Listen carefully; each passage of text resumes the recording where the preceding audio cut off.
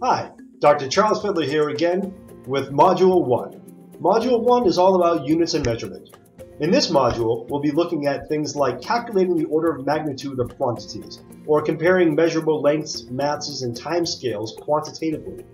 These ideas will be important for us to understand and apply as we get into equation problem solving, but also in general, just how to support the qualitative understanding of some of the units and measurements that we'll have to do in order to understand and study physics.